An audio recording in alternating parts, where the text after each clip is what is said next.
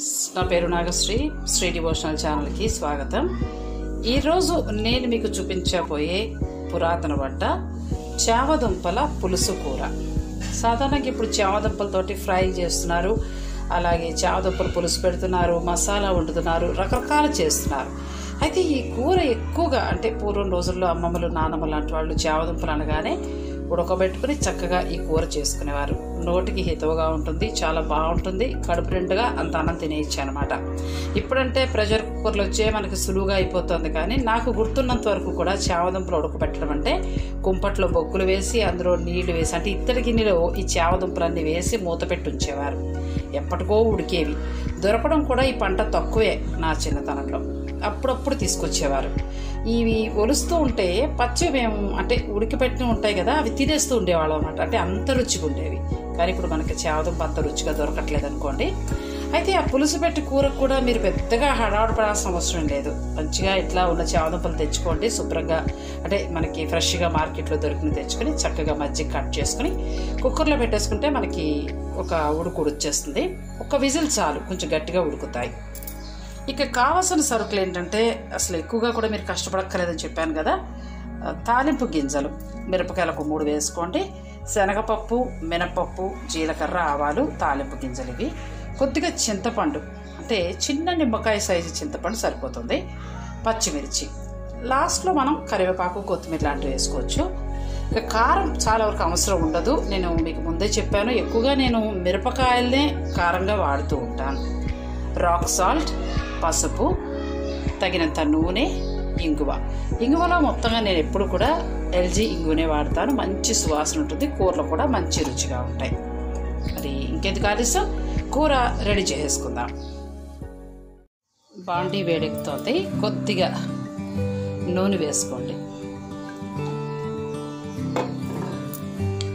ముందుగానే నేను కుక్కర్లో చామదుంపలు పెట్టాను కదా అవి ఉప్పు వేసి ఉడకబెట్టాను. తర్వాత చక్కగా తొక్క తీసేసి రెడీ చేసి పెట్టుకున్నాను. ఇలా పెట్టుకోవాలి. ఇదేమో చింతపండుతోటి గుజ్జు చేసుకున్నా. ఇందులోనే పసుపు వేసేస్తే కూరలో బాగా కలుస్తుంది. ఎప్పుడైనా సరే ఆ చింతపండు పులుసులోనే మనం ఏదైనా పులుసు పెట్టి కూరలు వండుకున్నప్పుడు అందులోనే ఉప్పు పసుపు లాంటివి వేసేస్తూ ఉంటే బాగా కలుస్తుంది. పచ్చిమిరపకాయలు పోపు దినుసులు. ముందుగా తాలింపు వేయించుకున్నాను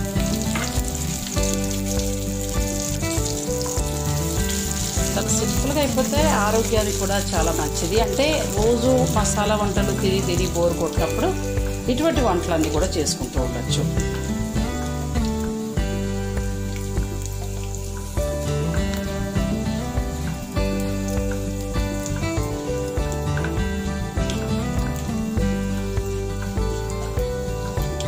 ఎర్రగా వేగిన తర్వాత పచ్చిమిర్చి వేసేస్తాయి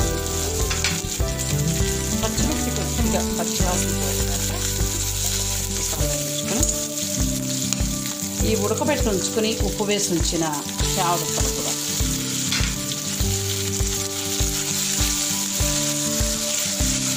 కొద్దిసేపు ఎర్రగా వేగనిద్దాం. లేదంటే కూర మరీ ముద్ద ముద్దగా ఉంటుంది. అందుకే కొద్దిసేపు వేగనిస్తే బాగుంటుంది.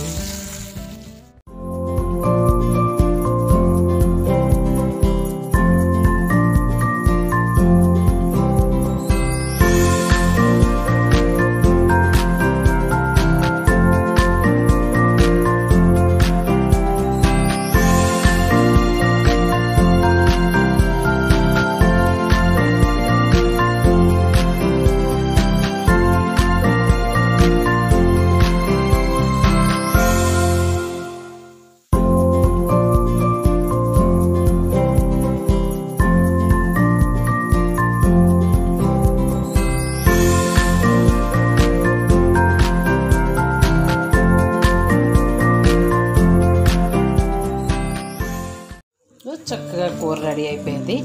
పుల్ల పుల్లగా నోటికి చాలా రుచిగా ఉంటుంది. దుంప కంబదనం చింతపండు పులుసు అన్నీ కలిసి చక్కగా మంచి రుచిగా ఉంటుంది. పచ్చిమిర్చి కూడా వేసాం కదా అవి ఈ చింతపండు పులుసులో ఉడుకుతాయి కదా ఒక రెండు నిమిషాల సేపు.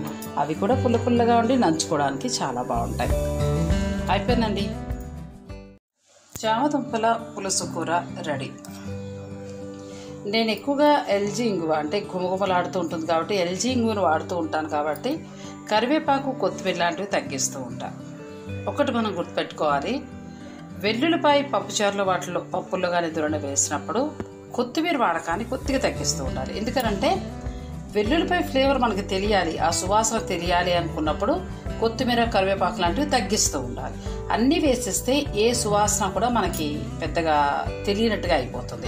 ఇప్పుడు ఇంగు వేసే వంటలు కొన్ని ఉంటాయి. ఇంగు వేస్తున్నప్పుడు కొత్తిమీర కరివేపాకు లాంటివి వేసినప్పుడు ఇంగు వాసన అవి డామినేట్ చేసేస్తాయి. సో మనకి ఇంగు వేసినట్టు తెలియదు అందుకోసమని దేనికి దానికి నేను కేటాయిస్తూ ఉంటా. చాలా సింపుల్గా అయిపోతుంది.